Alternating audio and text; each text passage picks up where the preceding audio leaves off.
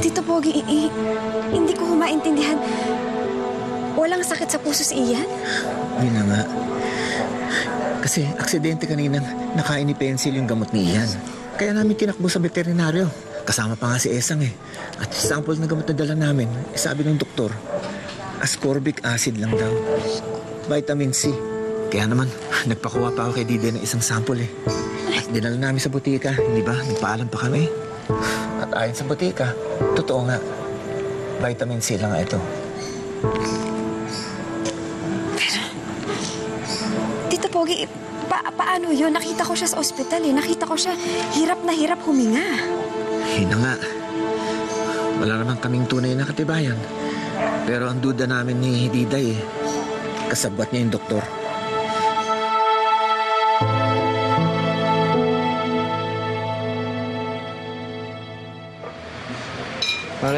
Kung nireject ka ni Lala, edi balikan mo na si Isadora. Siguradong isang tawag mo lang doon, bibigyan kang ticket pabalik mo ng States. Alam ko. Pero ayokong gawin yun. Dahil sakal na sakal na ako sa kanya. Kung ano man yung tulong na binigay niya sa akin in the past, feeling ko bayad na bayad na ako doon sa tulong ko sa pagpapalaki kay Trixie.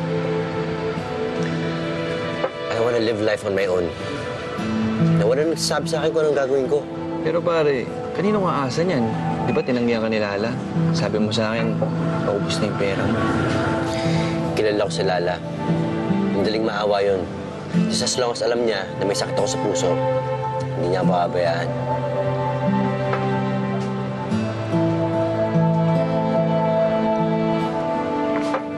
Nakita mo yung ginawa ko kanina doon eh. Spike. alright. Uh, ano ginagawa mo dito?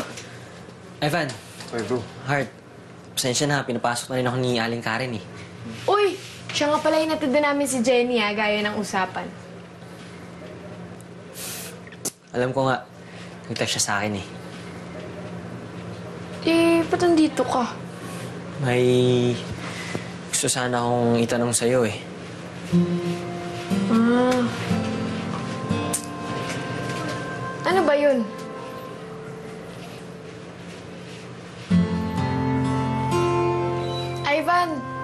Okay na ako. Uwi ka na. May kinig sana ako sa usapan niyo eh. Ivan.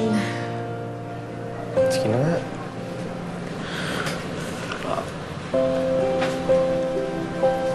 Tol, ingat. Sige, ingat ka din ha. Ingat. Eh, bakit nga pala hindi mo na lang tinawag yung itatanong mo sa akin, Junjun?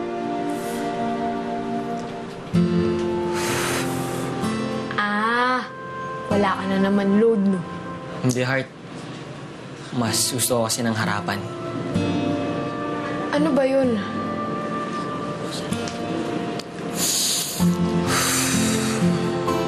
Gusto ko kasing tigilan yung panliligaw kay Jenny. Pero ayoko naman siyang mawala bilang kaibigan. Paano ko ba sasabihin sa kanya na kung pwede, friends na lang kami?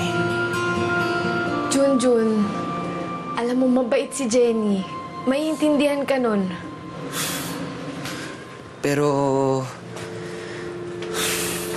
Ayoko siyang magalit sa akin eh.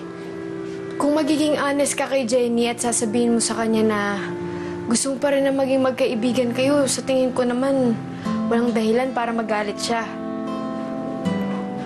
Tsaka huwag kang mag-alala, Junjun. Babakapan kita. Lalo ngayon, close na kami ni Jenny. Salamat, Tarta. Sige, pahinga ka na. Sure ka? Okay ka na? Oo. Tsaka, uwi na rin naman ako eh. Sige. Batas. Bakit nga ulit biglang ayaw mo naligawan si Jenny? Basta. Salamat sa advice mo ah. Good night, Tart. Sige. Bye. Good night.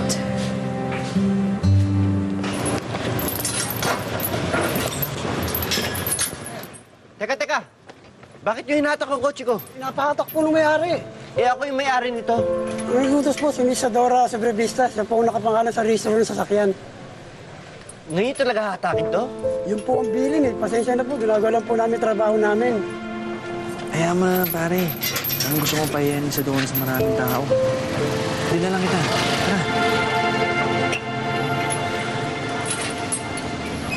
So, nakita mo na to yung coach ni Ian. o, tapos anong reaction niya? Mabuti naman. Thank you for your help. So, wala ng credit card si Ian. Tapos, pinasara mo na lahat na accounts niya. Tapos, binawi mo na ang coach niya. Are you happy now? Walang-wala na si Ian. I'm not proud to see Ian miserable. Gusto ko lang maramdaman niya kung gaano ako ka-importante sa buhay niya. But until when are you going to do this? Until he comes back to me and Trixie. O, sige na, matutulog na ako. Isa, ilang araw mo nang binabawi kung ano-ano sa kanya. Pero kahit isang text mula sa kanya, eh wala ka pa rin natatanggap. Paano ibig mong sabihin? Baka naman baliwala lang lahat ng ine-effort mo. Matutulog na ako.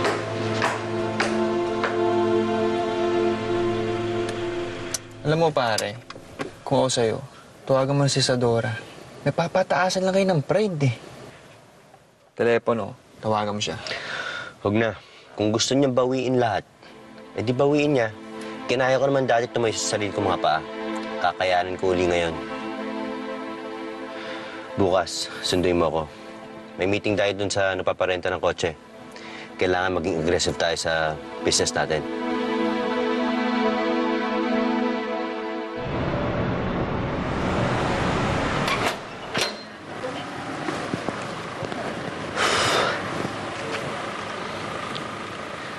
Mark, nasa ka na ba, Mark?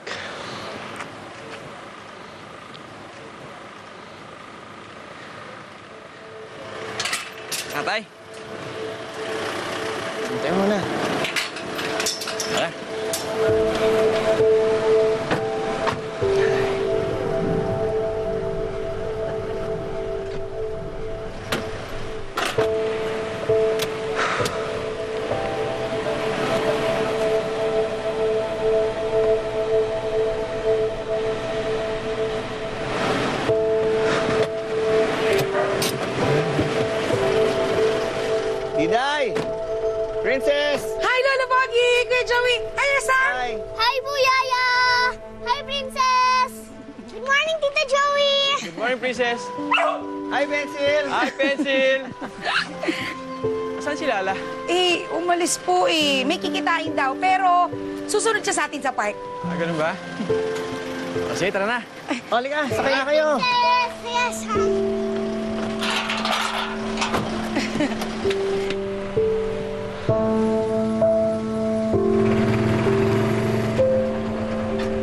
Boss, tayo po kayo? Di na, sige, sige.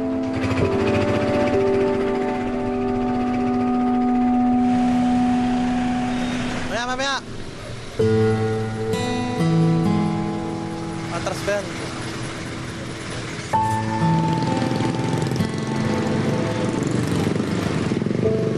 Pasok na! Pasok na! Yes, okay na! Oh, tunggo! Tunggo! Tunggo, bilis! Tunggo! Oh, sama niya na! Tunggo, tunggo, tunggo!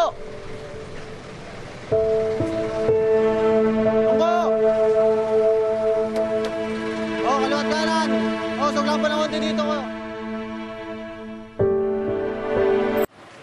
Buti nakarating ka na. Halika, tikman mo yung niluto ko. Wait lang, ha?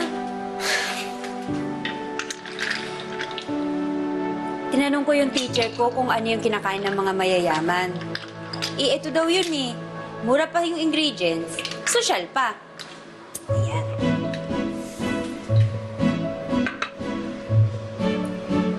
Escargot? Hmm. What happened to the other thing you were preparing? Eh, kasi baka hindi kasi kumakain ng Filipino food yung mami mo, eh. But that's because she hasn't tried your cooking yet. Binubola mo na naman ako. Basta tikman mo na lang kung magugustuhan to ng mami mo o hindi. Dali.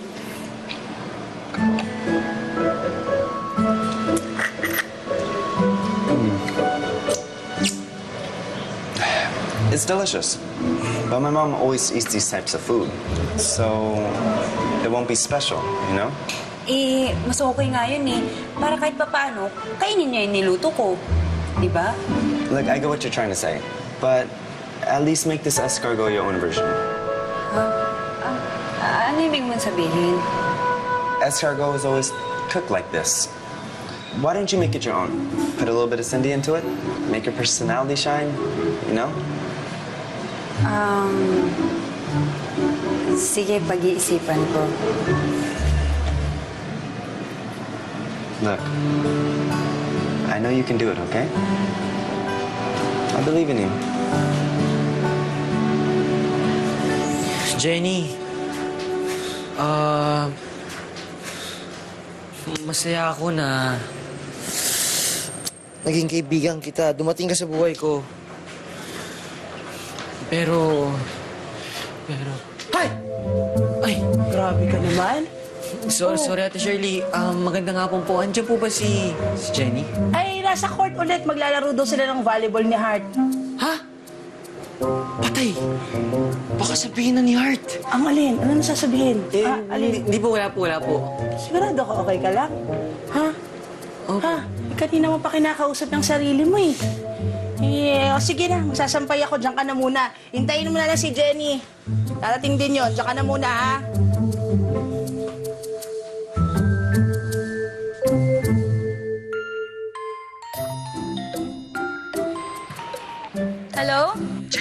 Kasama mo na ba si Hart? Ah, hindi pa. Bakit? Okay, sige. Hindi, wala, wala, wala lang. Pero pupunta ko kayo dyan sa court, ha? Huwag kayong alis. Oh, sige, sige. Uy, sis! Sorry late ah. Sensya kami. Sige lang. Jenny! Uy, Heart! Tara, stretching muna tayo. Oh, anong sabi ni E? Papunta na daw siya. Lagot sa atin yung girl na yan pagdating ni E. Doc, andito na po yung next patient nyo. Ready na po kayo? Sige, papasukin mo na.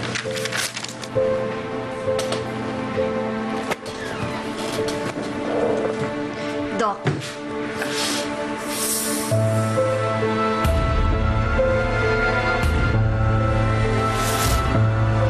Dr. Alfred Malyari. Your Ian's wife, Lala. Ex-wife. Um, have a seat. What can I do for you? No, thank you. I came here para malaman ko kung ano talaga ang kondisyon ni Ian.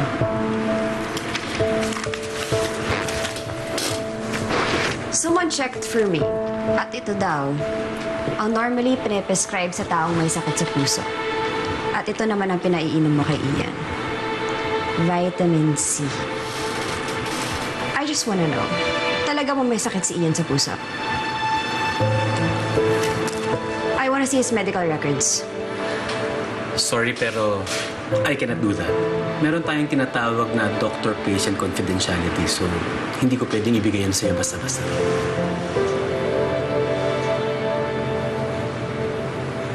Dok, may anak ka rin pala. Kasi kami ni Ian may anak kami. Sobrang ang pag-aalala ng bata sa daddy niya eh.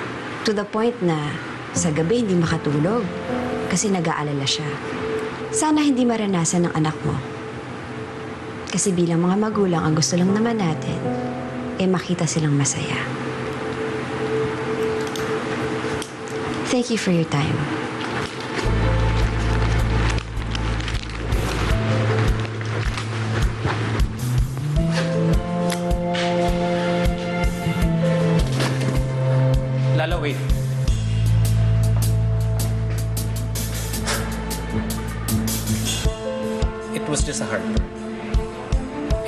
Case of heartburn.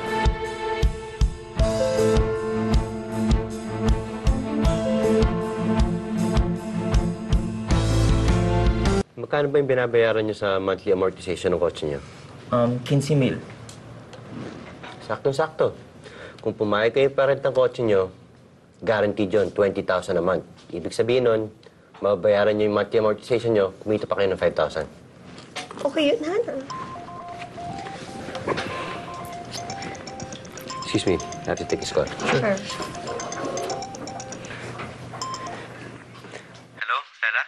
Nasaan ka?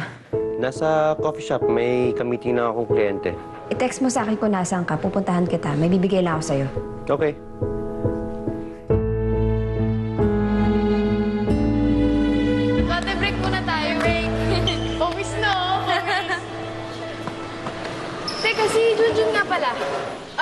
Kakakausap ko lang sa kanya kanina. Papunta na daw siya dito. Ah. Hindi pa kayo nakakapag-usap? Tungkol saan? Ah, no. Wala, wala. May sasabihin ba sa akin si Batas? Heart?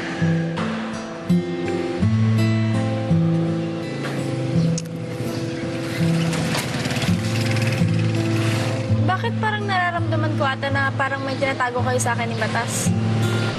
Mm. Hindi, wala promise. Eh, ano yung sasabihin niya sa akin? Heart? Kasi Jenny... Kasi... Ikaw ba si Heart? Ah, oo, bakit? Teka, ikaw yung ex ni Ivan, di ba? Yes, ex. Dahil inagaw mo siya sa akin. Ha? Ikaw?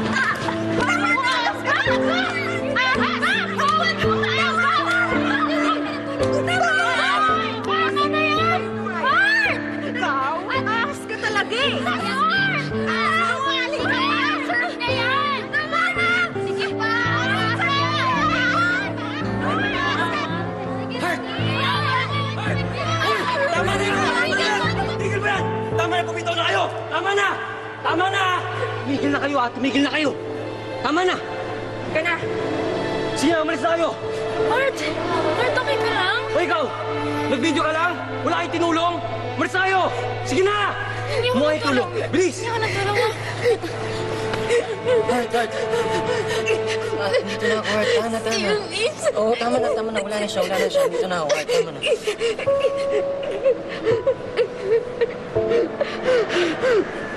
Heart. Heart, makakatayo ka ba? Ha? Halika, makakatayo. Tulungan kita. Halika. Tayo ka, tayo, tayo. Tayo ka, tayo.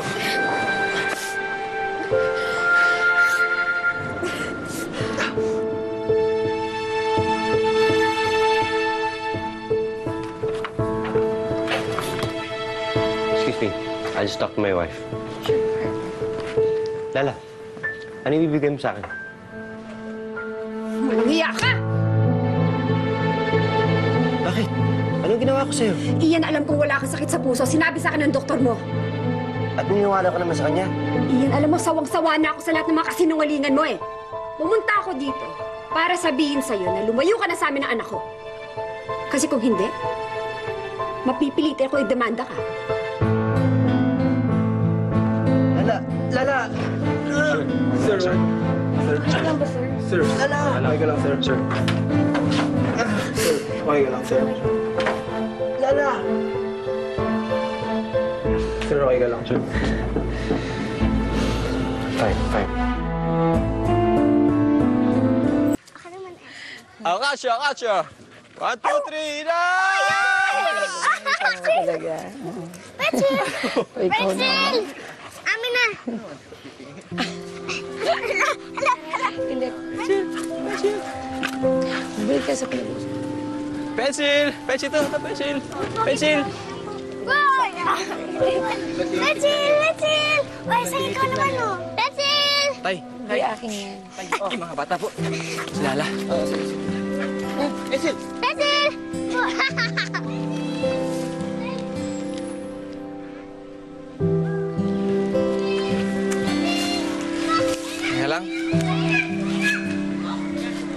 Joey, alam mo bang walang sakit sa puso si Ian? Sinabi nga yung tatay Pogi. Confirmed. Sinabi sa akin mismo ng doktor ni Ian na heartburn lang pala yung meron siya. Alam yun, niloko niya kami. Ba't pa kasi ganyan kayo mga lalaki? Mga manluloko kayo. O, tika, tika. Ba't ako nasama dyan? Hindi ko kayang gawin yung ginagawa ni Ian, ha? Sorry, Joey. Alam ko namang ibang-iba ka kay Ian eh. Hindi lang ako makapaniwala na kaya niyang gawin yun sa amin. Sa sarili niyang anak. Tapos ano yun? Ganun-ganun na lang? Dadaan lang niya sa pakiusap? Yung tuloy, nasampal ko. Nasampal mo? Oh,